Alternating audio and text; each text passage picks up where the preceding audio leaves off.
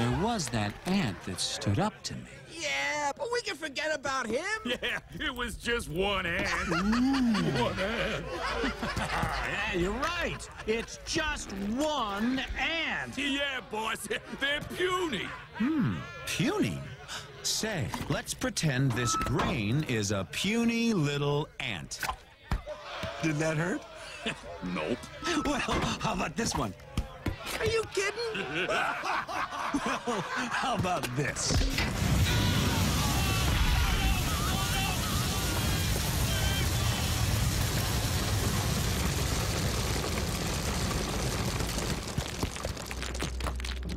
You let one ant stand up to us, then they all might stand up. Those puny little ants outnumber us a hundred to one.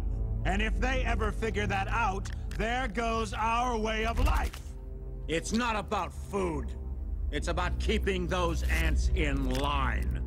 That's why we're going back. Does anybody else want to stay?